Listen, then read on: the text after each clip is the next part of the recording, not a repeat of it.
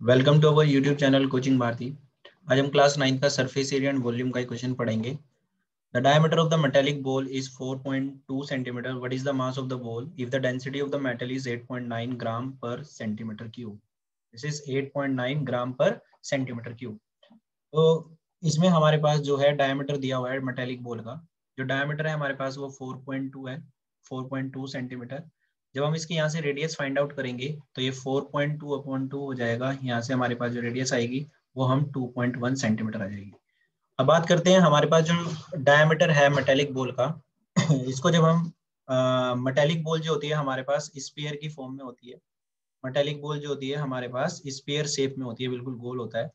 तो हम आ, इसका जब हम मास फाइंड आउट करेंगे तो first of all we need a volume here तो हम वॉल्यूम जब फाइंड आउट करते हैं स्पेयर का तो वॉल्यूम ऑफ़ स्पेयर हम डायरेक्टली फॉर्मूले से फाइंड आउट कर सकते हैं। तो वॉल्यूम ऑफ़ स्पेयर जो होता है हमारे पास four upon three pi r cube होता है। तो यहाँ पर हम four upon three and the value of pi is twenty two upon seven and the radius is two point one into two point one into two point one because cube is here तो जब हम इसको finally solve कर लेंगे यहाँ से तो हमारे पास इसको सोल्व करने के बाद तो thirty eight point eight zero eight centimetre cube इसकी वैल्यू आ जाएगी जब आप इसको पूरा का पूरा इसका वॉल्यूम फाइंड आउट करोगे। तो वॉल्यूम ऑफ़ स्पेयर जो हमारे पास आ गया है, वो 38.808 आ गया है।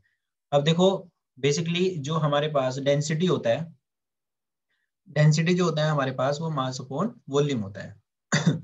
डेंसिटी क्या होता है? हमारे पास मास अपॉन वॉल्यूम होता है। हमें इस क्वेश्चन में बेसिकली मास ही फाइंड आउट करना है what is the mass of the ball तो यहाँ से जब हम इसका क्रॉस मल्टीप्लाई करेंगे तो मास की जो वैल्यू आएगी हमारे पास mass is equal to density into volume हो जाएगा।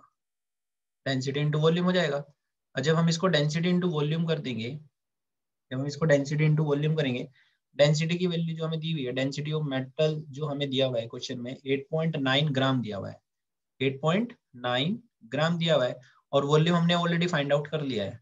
वॉल्यूम हमारे पास जो है वो 38.808 है।